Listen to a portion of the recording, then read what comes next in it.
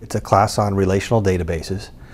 And to explain what that is, you might want to look at a business for a minute. Most businesses have transactions, they have employees, they have distributors, they have all sorts of things that they need to track um, if they want to stay profitable, if they want to run their daily activities. So what a relational database can do is store all this information for you and let you pull it up in a meaningful manner later so you can run your business and make meaningful business decisions. Pretty much anyone going into business should know about databases. If you're going to um, management information systems, you're going to be a database administrator. Obviously, you need to know how databases work.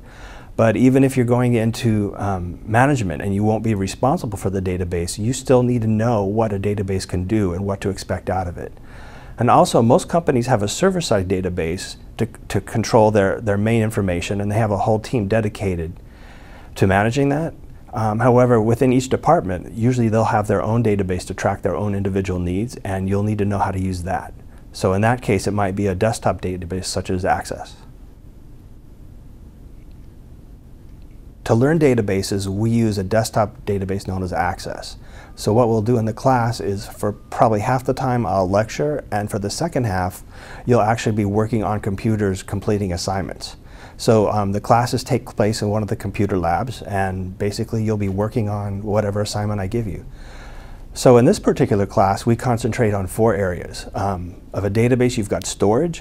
So what we'll do is we'll learn how to construct a database properly, and we'll actually build the tables, creating the relational database. Um, you also have input. So in that, in that regard, we'll create a user interface and use macros and forms to allow people to put data into the database. Most people find databases intimidating if they haven't been trained on it, and they're usually eager to hire someone who can do the database for them. I get calls all the time from colleagues either asking me to answer database questions or want a referral of someone who knows about databases.